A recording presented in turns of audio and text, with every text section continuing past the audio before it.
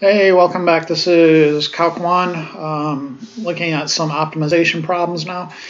And let's dive right in. Okay, so the first type we have kind of the area type.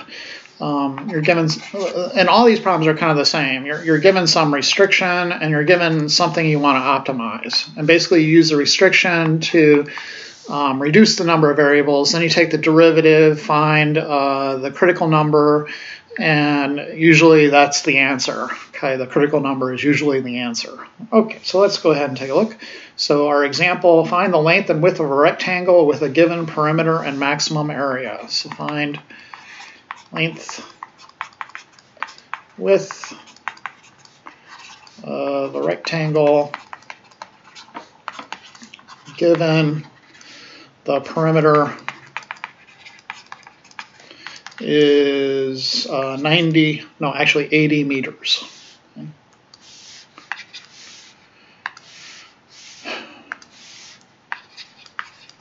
Okay, so let's draw a little picture here that usually helps. Call the length x, the width uh, y. So, um, you know, we're trying to optimize, find the length and width of a rectangle given the perimeter is 80 meters, which has maximum area.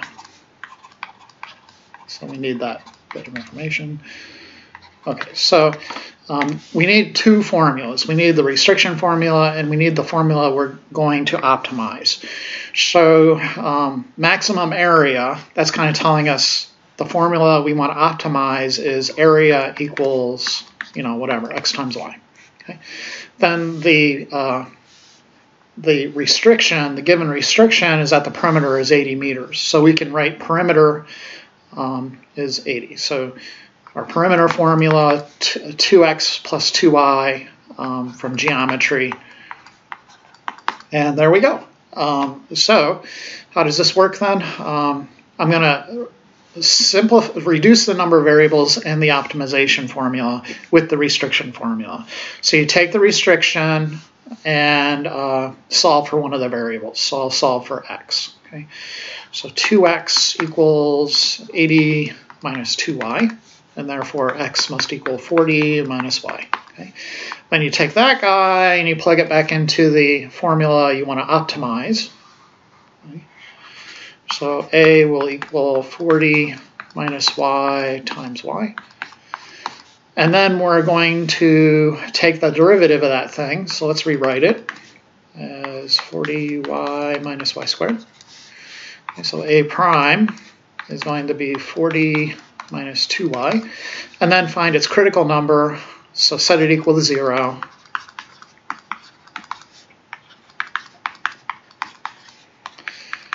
And usually that's our answer. Okay. Um, you can literally go in and look at the number line, but you know, nine times out of ten, this is going to be the, the answer. Anyways, uh, to the to the uh, so you get some test values and stuff. So x is maybe like 5, 40 minus, and I'm using this equation. So uh, 40 minus 5 is positive, times positive. It's increasing, and then try x is 22. Yeah. Um, uh, oh, whoops. 40 minus 5 uh, I should be putting it in the derivative. I apologize. I put it into the original function. Oh, I'm sorry, I'm so sorry. Um, where is my uh, guy? So I want to put it in this guy here, sorry. Um, so the first one I, I, get positive anyway. So 40 minus 10, when I plug in 5, that's, that's a positive, so it's going up. 40 minus 44, when I plug in 22, that will be negative, so that's going down. In other words, this is a max. Okay, so this is, in fact, the max that we seek.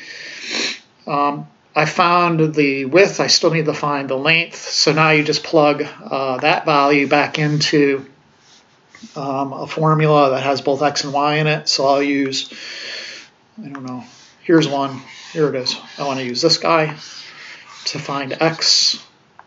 Okay, so x must equal um, 40 minus 20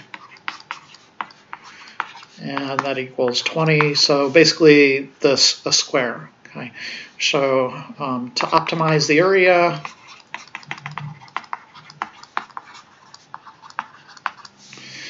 um, let the length be 20 meters and the width be 20 meters. Okay. Okay, and that's that's it. Um, all these problems are pretty much the same. So what you're doing again is trying to find this this restriction formula and the optimization formula. Use the restriction formula to reduce the variables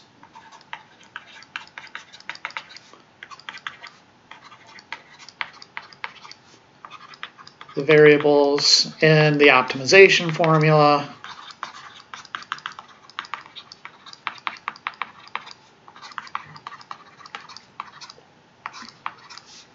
Which is right here.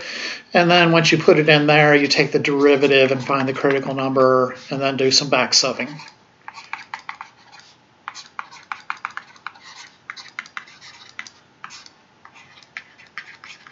And that's it.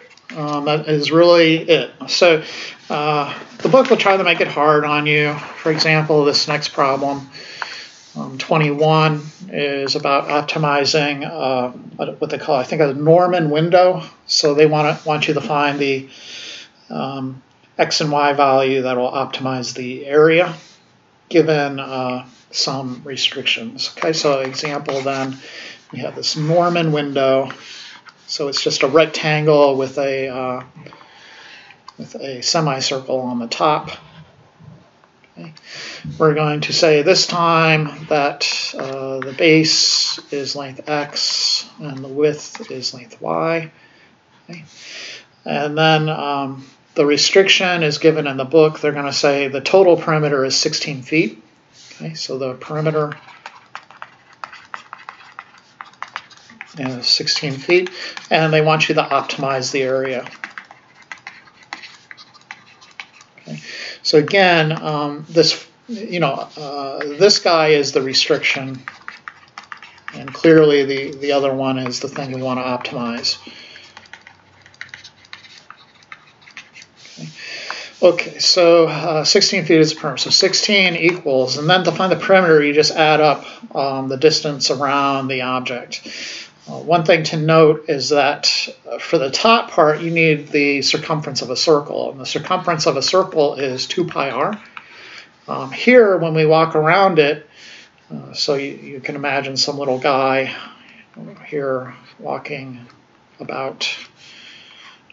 Uh, when he walks around it, he's only walking on half the, the circle, right? So the um, distance there is just one half the circumference.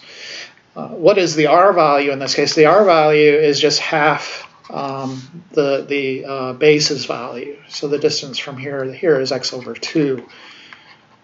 Okay. So the radius is just x over 2. Okay, so let's put it together. Um, the, the perimeter is y plus x plus y plus 1 half uh, times 2 pi x over 2, right? So it's, but it ends up being x plus 2y's plus um, 1 half the circumference, so that would be pi r, um, and then r is x over 2, so pi times x over 2. Okay. So that's our restriction formula. The optimization formula, the area, um, so the area of the box part is just length times width, but then the area of the semicircle up above well, what is the area of a circle? The circle is pi r squared. So the area of a semicircle would be 1 half that. So 1 half pi times r squared. In our case, r is x over 2.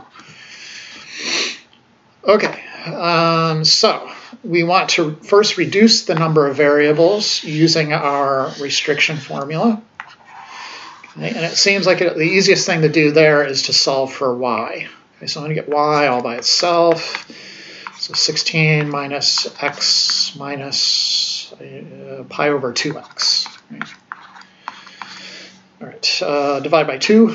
So y will equal 8 minus x over 2 minus pi over 4x. And then we could put that into our optimization formula right here. And this is where it starts getting a bit nasty, right? So x um, We'll leave that alone, and then times y, which is now 8 minus x over 2, minus pi over 4x plus uh, 1 half times pi times x squared over 4 is going to be uh, pi all over 8 times x squared. And then let's clean that up. So x equal a equals 8x minus x squared over 2 minus pi over 4x squared plus pi over 8 x squared. And then we can combine some like terms here and just need a common denominator. So multiply here by 2 top and bottom. And then I'll have uh, a equals 8x minus x squared over 2. And this will be 2 pi over 8 negative plus pi over 8, which will be minus pi over 8x squared. and then I can finally take the derivative of this character, my uh, optimization formula, and start looking for the critical number. Right, so a prime is going to be 8 minus um, 2x over 2, which will just be x, minus um, 2 pi x over 8, which would be pi over 4x. Okay, so then we need to set this equal to 0 to get the critical number. Um, so I'll move the x material to the other side factor out the x, divide both sides by that nasty looking thing. I hate complex number, complex fractions, so I'm going to multiply top and bottom by 4. And I get this ugly looking thing, um, which turns out to be the answer in the back of the book. Now I need to get my other um, other uh, unknown, the y value. So I need to go back to the y equation. Where are you, y? So there's y. So to make it a little easier, I'm going to rewrite y. Okay.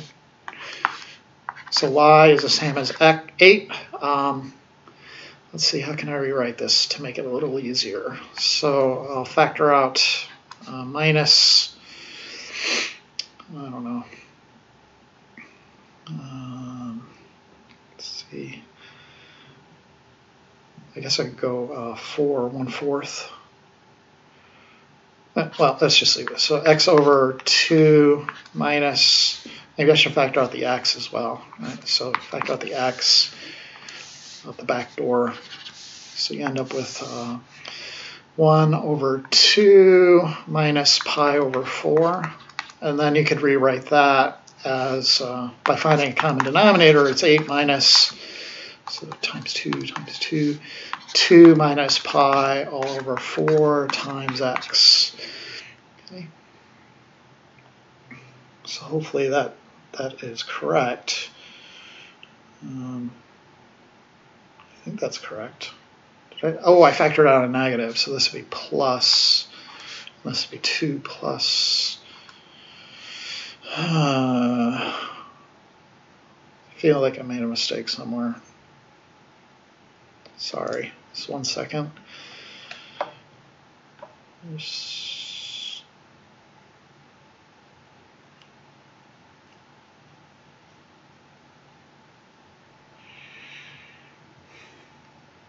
think I'm good. I think, I think I'm good. Okay, so now I'm going to substitute in the uh, x value here and find my y. So y is 8 minus 2 plus pi over 4 times 32 all over 4 plus pi.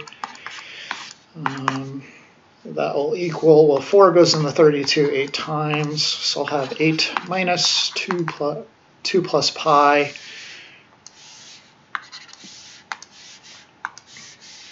Someday my marker will work. 2 plus pi um, but there's an 8 involved, right? So it's actually going to be 16 plus 8 pi.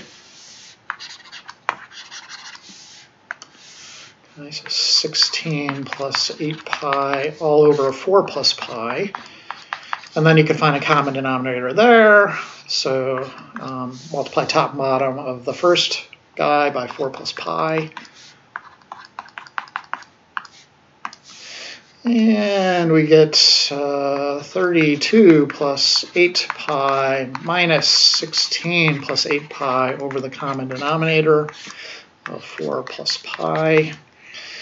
And so that will be uh, 32 minus 16 is 16. 8 pi minus 8 pi is 0, all over 4 plus pi. And that would be your official state sanctioned answers. So our uh, x would be um, 32 over 4 plus pi feet. And then your y value would be the 16 over 4 plus pi feet. So they can make it a real nightmare. They just throw in some transcendental numbers. Um, unless you're using approximations, it can be pretty nasty. Um, let's look at uh, one more with a, a, sort of area type issue. This time what they're doing is inscribing a rectangle into a semicircle. Okay, so the restriction is the semicircle. One, two, three, four, five, two, five, five. Okay. So the equation of that upper hemisphere is just y equals square root of 25 minus x squared. And they want you to find the rectangle of largest area okay, and that's inscribed in this semicircle. Okay. So the area of that rectangle, um, given you know the, the, these uh, coordinates, x and y coordinates, um, the area will be x times y, and the restriction is that y must be equal to the square root of 25 minus x squared. And it's not quite x times y, right? Because um, the, the base is actually two x's. So you have to be a little bit careful. This length is 2x and then the height is y. So let me, uh, let me fix that a little bit. So the a is equal to actually 2x times y. Okie dokie. So um, what we do then is, you know, we already got the y value, so we can do our, our uh, use our restriction to reduce the number of variables, and a will be 2x times the square root of 25 minus x squared.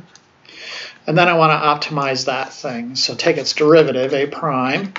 I need a product rule, so uh, 2 square root 25 minus x squared, and then plus 2x times 1 half, so this is a power rule, 25 minus x squared, then negative 1 half, times a chain rule, 2x. And then we're going to set that guy equal to 0, so I have uh, 2 times the square root of 25 minus x squared minus, it looks like it's going to be 2x squared all over the square root of 25 minus x squared. I get a common denominator. Um, so pretend this is over 1 and multiply top and bottom by square root 25 minus x squared. Okay, so I'll end up with 2 times 25 minus x squared minus the other numerator all over our common denominator. So this will equal 50 minus 2x squared minus 2x squared is minus 4x squared all over the square root of 25 minus x squared. And then uh, set the numerator equal to 0. The denominator isn't going to give you anything except the, kind of the trivial answers where the the the um, base is equal to 5 and then the height is equal to 0. So that won't be a, a true rectangle. So you go to the numerator set it equal to 0. So you have 4x squared is 50, x squared is 25 all over 2. And then square root on both sides, x is 5 over root 2. And then uh, your y value is uh, from our restriction equation above. y is equal to the square root of 25 minus x squared. So y is equal to the square root of 25 minus x squared is 25 over 2. So that'll equal the square root, again, of 25 over 2, which is 5 over root 2. Okay, but the dimensions of the rectangle are what we are after, and we've not really found that. The, the dimensions have to be 2 times x by y. Okay, so um, the base of our rectangle is actually 2 times x, so 2 times 5 over root 2. So if you prefer, it's 10 over root 2. Or if you prefer, that'll be 5 root 2 all over um, it's just 5 root 2, right? Um, so I would, I would have uh, 10 root 2 over 2, which would be 5 root 2. Okay. And then the height of this rectangle is just the y value. So 5 over root 2, or if you'd rather, 5 root 2 over 2. And I believe we were in feet. Okay. Okay, uh, the next kind of optimization is distance problems. Okay, and there's a clever little trick you can do. In order to optimize the distance formula, it's enough just to optimize the insides of it. Okay, if you find where the insides are a maximum, it will cause the outside, the square root of it, to also be a maximum. Because this, I, suppose, because it's always increasing right? So if you have um, x1 less than x2, then f of x1, which is like taking the square root of it, will still be less than f of x2. Okay?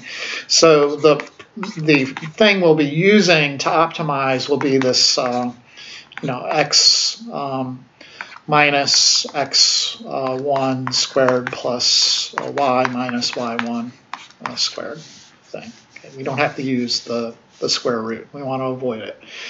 Okay, so um, number, well, this example, we want to work with this restriction. g of x is square root of x and our point for 0. Um, we want to find the point on the graph of that thing that's closest to 4, 0. Find point closest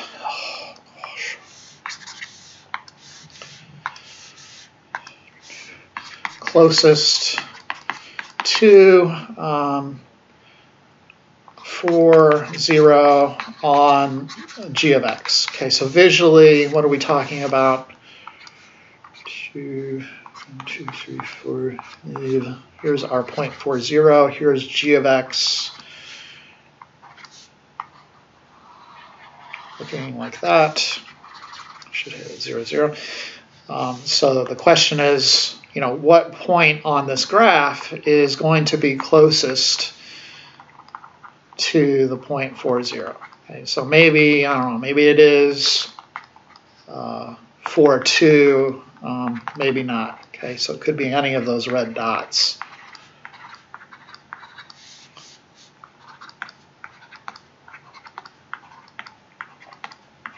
Okay, so our uh, formula to optimize then um, this distance thing,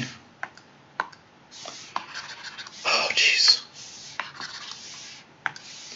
is going to be f of x equals, um, you know, x minus, let's make this x1, this is xy1, x minus, uh, 4 squared plus y minus 0 squared. Okay, there's two variables in our optimization formula, but we have this restriction that y equals the square root of x. So we could now uh, use the restriction to reduce the number of variables in the thing we want to optimize. Okay. So we'll have f of x equaling um, x minus 4 squared plus square root of x minus 0 is just square root of x squared and of course, that'll equal um, x squared minus 8x plus 16 plus x. So ultimately, f of x is x squared minus 7x plus 16. Then we want the critical numbers. So f prime of x is 2x minus 7 set that equal to 0. So 2x minus 7, and 2x is 7, so x is 7 halves. Okay. We want the both coordinates of the point, so y, going back to the restriction, is equal to the square root of x, so y must equal square root of 7 over 2, um, and that will be our answer. So the point that's closest to the graph, oh, sorry, the point that's closest to 4, 0 on the graph of y equals square root of x is 7 halves, kind, comma, square root 7 halves. Okay, so if you thought it was maybe this point here at uh, 4, 2, you would be sadly mistaken. Okay. Let's look at one more. Um, this guy is more of an engineering type problem, so I don't do enough applications in my opinion. That's because I'm more of a math person than an engineer type person. Um, so beam strength,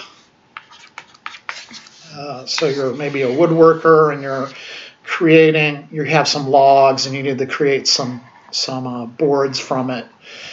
You could tell the beam strength given uh, this dimension W, the width, the width and the, the height of the board that you're cutting out of the log. Okay? Um, so the formula for beam strength that we want to optimize is S equals some K constant times W times H squared, where the constant of strength is given by the type of wood you're using. Okay, so we want to optimize that. The restriction is that this, this uh, diameter of the log is 20 inches. So the restriction is 20 inches.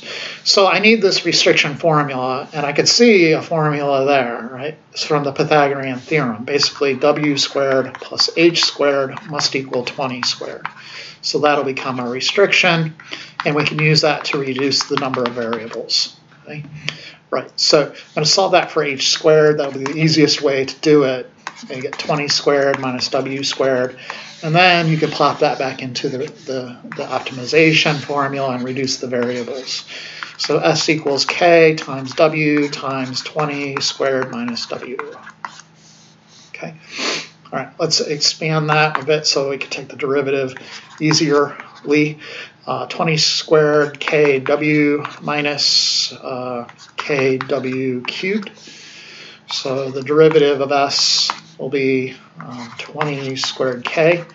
So the k is a constant. So um, you just, the constant multiple rule, uh, take the derivative of w, that's just 1, uh, and then minus k times 3w squared.